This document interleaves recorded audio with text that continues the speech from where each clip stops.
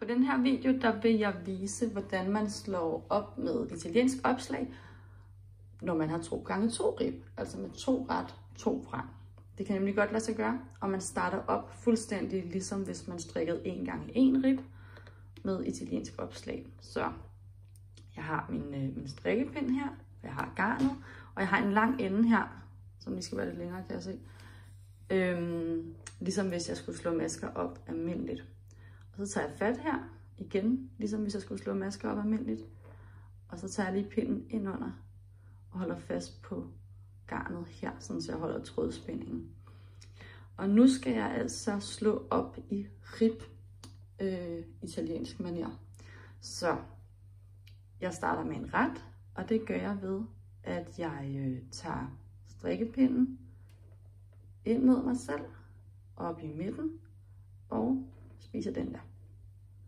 Så har jeg lavet en ret maske. Så skal jeg lave en vrang.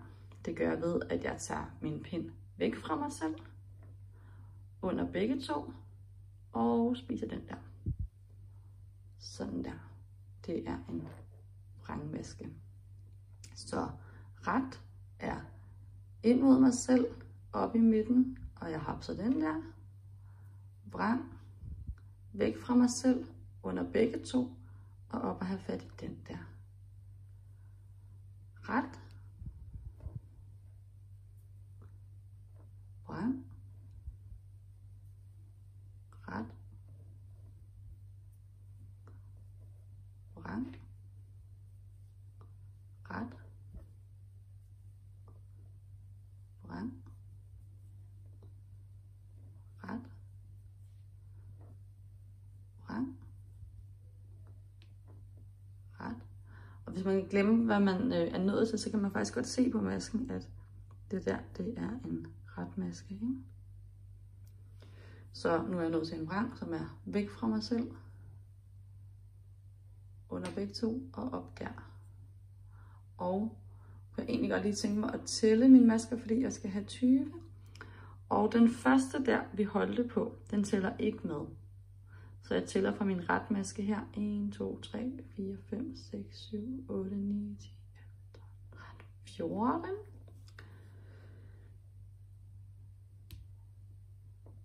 15 ret, 16 vrang, 17, 18, 19, og den sidste vrangmaske, i stedet for at køre under, som jeg har gjort hele vejen, så tager jeg altså bare lige øh, en af enderne og laver sådan et lykkeopslag her. Dut. Fordi så løber det ikke nogen steder. Så vender jeg mit arbejde, og nu strikker jeg halvdelen af maskerne på pinden her på den ene side, og så strikker jeg den anden halvdel på den anden side. Så jeg starter altså her med at strikke mine retmasker. Og mit lykkeopslag her, der sidder forrest, det var jo min øh, så derfor er det en ret maske her, som skal strikkes. Det gør jeg sådan der. Så har jeg en vrang siddende her, og der skal jeg altså have garnet foran arbejdet, og have den løst af, og have den tilbage, eller have garnet tilbage igen, ikke? Så en ret her. Garnet foran arbejdet, det gør jeg altså bare ved lige at gøre sådan der. Voilà, tilbage igen. Ret. Garnet foran arbejdet, løst af. Ret. Garnet foran, løst af. Garnet foran, løst af.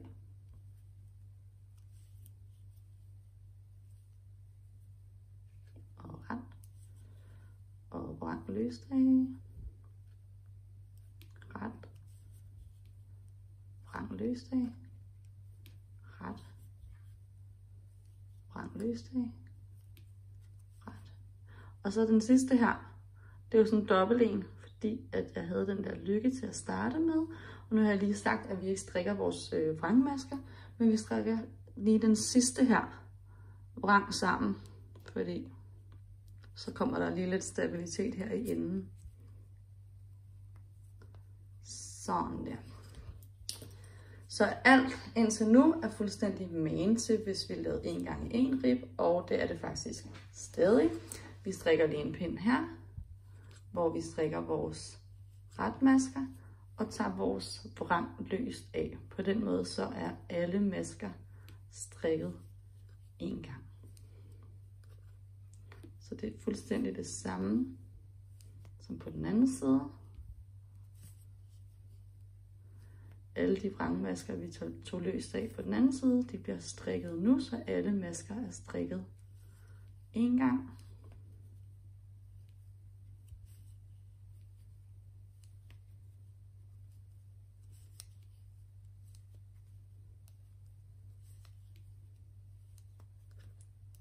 Og den sidste vrang, den strikker jeg altså lige.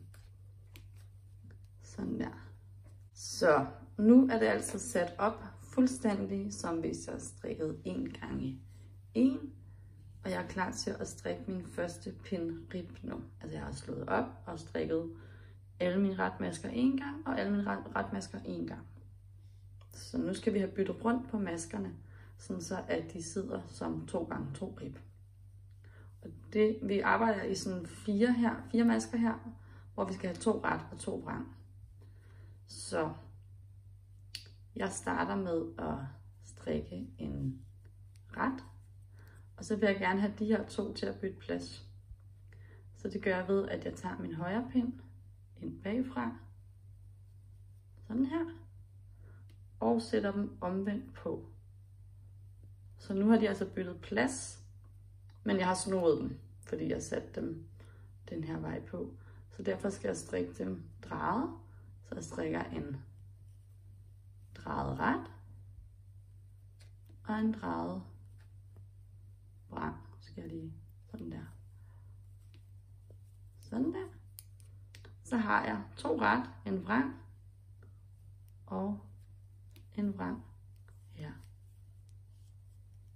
Så arbejder jeg med de næste fire, hvor jeg strikker den første ret. Så vil jeg gerne have, at den her vrang og den her ret bytter plads. Pinden ind her. Så sidder de øh, ret vrang på pinden, men snoet. Så derfor strikker jeg dem drejet, så kommer de til at sidde rigtigt nemlig. Sådan der, og så strikker jeg den sidste vrang her. Det var otte masker, der nu sidder i to ret, to vrang, to ret, to vrang. Så strikker jeg en ret, og så de to der i midten, hvis man kan sige det. I hvert fald er de fire. Ind igen. Og en drejet ret. Og en drejet vrang. Og en vrangmaske. Så var det nemlig fire mere. En ret. Skal vi have vendt dem her om. Sådan her. Strikker.